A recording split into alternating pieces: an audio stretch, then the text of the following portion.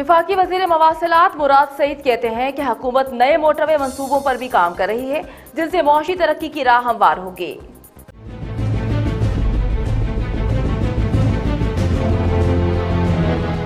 सी pack के हवाले से विफाकी वज़ीर मवासलात मुराद सईद ने कहा है कि सी पैक के तहत मुतद नए मनसूबों पर इस साल काम का आगाज़ होगा। सी पैक पूरे इलाके की माशी तरक्की की राह हमवार करेगा। उन्होंने कहा है कि तीन सौ किलोमीटर तवील सक्कर हैदराबाद मोटरवे पर काम एक्निक से मंजूरी के बाद शुरू होगा। योग कचलाक मगरबी, रूट प्रोक्योरमेंट स्टेज पर है और रवा बरस काम का आगाज़ होगा। मुल्तान सक्कर मोटरवे को गुजश्ता साल मुकम्मल करके ट्रैफ़िक के लिए खोल दिया गया था। हवेलियाँ मानसहरा के बाद इस साल हवेलियाँ थाकोट भी ट्रैफ़िक के लिए खोल दिया गया है।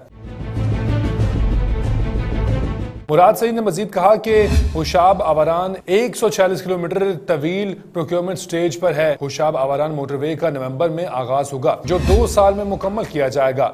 आवारान नल मगरबी रूट 168 किलोमीटर पर काम का आगाज़ मार्च 2021 में होगा। सवाद मोटरवे का दूसरा फ़ेज़ इस साल दिसंबर में शुरू हो जाएगा। दीर चित्राल मोटरवे की फिजिबिलिटी पर काम भी शुरू हो गया है। उन्होंने कहा है कि सियालकोट, खारियाँ रावलपिंडी मोटरवे की फिजिबिलिटी का आगाज़ हो चुका है। मौजूदा हुकूमत नए मोटरवे मनसूबों का भी आगाज़ कर रही है।